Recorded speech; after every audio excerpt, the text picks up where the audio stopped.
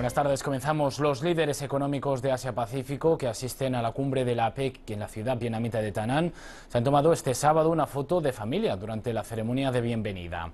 Entre los líderes asistentes se encuentran el presidente de China, Xi Jinping, el presidente de Estados Unidos, Donald Trump, y el presidente de Rusia, Vladimir Putin. El anfitrión de este año, el presidente de Vietnam, Tran Taekwan, dio la bienvenida a todos los asistentes e instó a los miembros de la APEC a que apoyen el mecanismo de cooperación estrecha y efectiva del grupo. El lema de este año es crear un nuevo dinamismo, promover un futuro compartido.